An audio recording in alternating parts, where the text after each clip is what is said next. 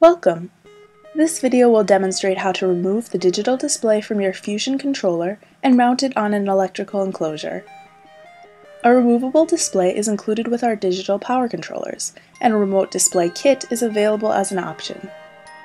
This allows you to conveniently read and adjust parameters from outside the electrical enclosure without any amp meters, switches, or additional wiring. When properly installed, the remote display has an IP65 rating. To remove your controller display, remove the four screws from your controller's front cover and take off the lid. Then disconnect the display cable found here.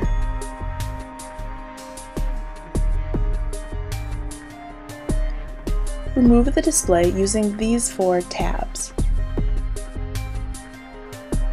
Now let's turn to the contents of the remote mounting kit.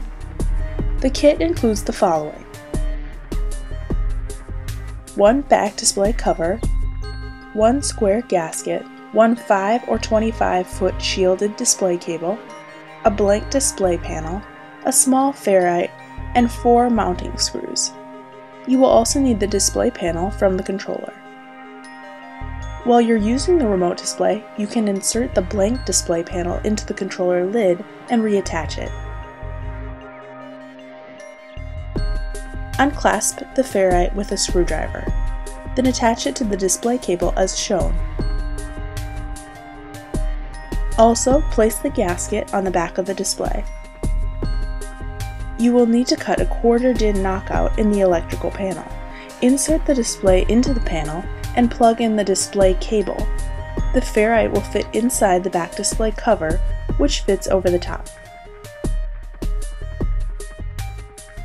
Use the four mounting screws to secure and tighten the panel. Be sure to use equal pressure and tighten slowly until the gasket is compressed 50% on all sides. You must be careful not to over tighten. Here we've attached a second gasket to the panel for comparison. Now connect the display cable to the remote display connector on the side of the controller and connect power. You can now use the remote display to monitor and operate the controller from outside the enclosure. For more information, visit our website at www.ccipower.com or contact the experts directly at Control Concepts Incorporated.